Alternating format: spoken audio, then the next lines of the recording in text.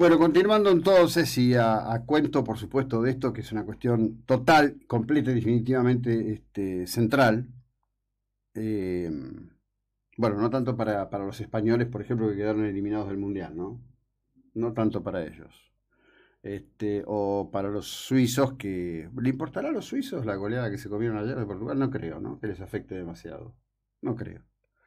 Lo que sí va a quedar afectado, yo insisto, porque esto lo mencioné ayer, seguramente es la población de Qatar, ¿no? Hay un, video que está en TikTok, que está en Instagram, que muestra a una, chica argentina con la camiseta de la selección, of course, que otra cosa que andar con la camiseta de la selección, de la selección en Qatar, este, bailando con un catarí y le está haciendo bailar cumbia, ¿no? Este, nada será igual en Qatar después que esto termine. Por supuesto que, todo esto está rodeado de otras cuestiones. debo decir esto y es una pequeña cita no es el centro de la escena, pasó totalmente desapercibido en el día de ayer. Eh, Elisa Carrió ha lanzado una serie de tweets, uno de esos tweets mereció una respuesta de María Eugenia Vidal, en uno de ellos trata de barra brava a Cristian Ritondo. En esto hago una aclaración, en, ningún caso, bajo ninguna circunstancia, Ritondo sería la primera persona en la que yo piense como gobernador de la provincia de Buenos Aires del universo de Juntos por el Cambio. Dicho esto, ahí este, todos los legisladores de, Juntos por el Cambio, incluidos los de su bancada, Ferraro, presidente de la misma, y López, alzaron la voz, se pararon las bancas y se cruzaron a gritos con el kirchnerismo en una actitud que ha sido, yo diría, aceptada y, por qué no, celebrada por buena parte del universo votante de Juntos por el Cambio. ¿Qué busca Elita con eso? Es muy raro, pero peor es aún cuando sube un tuit que dice, no sé qué hace Mauricio Macri en Qatar en ese lugar donde hubo tantos miles de muertos para hacer estas obras. Ustedes saben que todo lo que rodea el tema de las obras, seguridad en obras, trato de los trabajadores, que no eran precisamente cataríes, que en general son pakistaníes, hindúes, este, allí este, es, un tema muy, muy debatido, donde se habla de un número de personas que habrían fallecido por la construcción de los estadios, que la verdad no hay, no hay nada que compruebe el número, pero cualquiera que fuere, si es que no había condiciones adecuadas de trabajo, es repudiable en cualquier lugar del que se trate. Insisto en que Elisa Carrió, que también es un animal político, claro está, eh, siente que frente a la tensión tan grande que hay entre la UCR y el PRO por la definición de, las candidaturas, tiene que maximizar la tensión, creo que es lo que está haciendo, tratando de encontrar una, mesa de acuerdos donde se le garanticen este, o den lugares o espacios, cuando menos para retener lo, lo que ahora tiene. Por ejemplo, miramos Mar del Plata, dos concejales este, miramos este, Ciudad Autónoma de Buenos Aires, legisladores de la ciudad, diputados nacionales, etcétera, etcétera.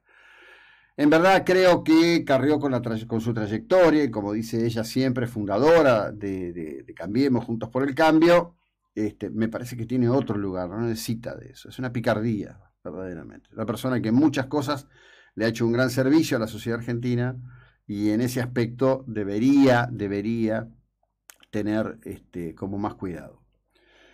¿Qué va a pasar ahora? Vamos a sintetizar en primer lugar. Cristina ha recibido una condena. La condena esa no es una condena efectiva. Lo escuchaba ayer que alguien decía, bueno, pero si Cristina no reelige y no es diputada, no es senadora, no es, no es nada, y se va a su casa, como ella dijo, para no ser este instrumento de, lo propio, de la lista que se conforme para enfrentar las elecciones de 2023 por parte de cómo se llame la coalición que lo haga, eh, entonces podría ir presa. A ver, la condena no es una condena firme, es una condena a la que le queda mucho camino para estar firme y en el contexto del ordenamiento jurídico argentino solo estará firme con una sentencia de la Corte esa sentencia de la Corte que daría lo que en la Argentina termina siendo un triple conforme, en realidad cuando en el mundo existe el doble conforme, ahí recién este, sería en carácter efectivo. Para ese momento, como mínimo, como mínimo, que Cristina va a tener 71, 72 o 73 años. Por lo tanto, tal como les vengo señalando desde hace mucho tiempo, esto de que Cristina va a ir presa no va a existir. Que va a llevar una tobillera electrónica no va a existir salvo que pudiera darse la situación que se entienda que existe peligro de fuga. Es decir, la idea de que Cristina se suba a un avión de cubana de aviación en el Calafate, se vaya y se este, quede en Cuba en calidad de exiliada política, víctima, etc. Yo creo que esa posibilidad está abierta. Esa posibilidad está realmente abierta.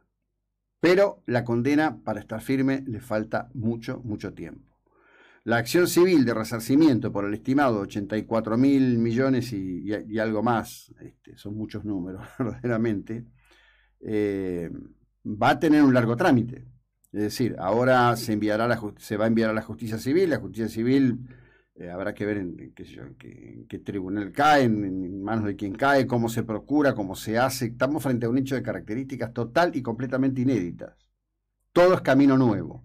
Si bien supongo será un procedimiento civil ordinario, bueno, tiene una relevancia más que importante. Pero además, esta condena abre la puerta primero a otras, pero además a revisión de situaciones judiciales donde Cristina este, fue, digamos, desestimada de prosecución de juicio, no, me atrevería a decir que fue este, declarada inocente, porque no se trata de eso, fue desestimada la prosecución de juicio en, fallos este, discutidísimos, que dijeron, bueno, no, no vale la pena ir a un plenario, en realidad acá nosotros decimos que no hay delito y se terminó y seguimos para adelante. Em, y si esas revisiones se producen, bueno, todo se va a tender a complicar.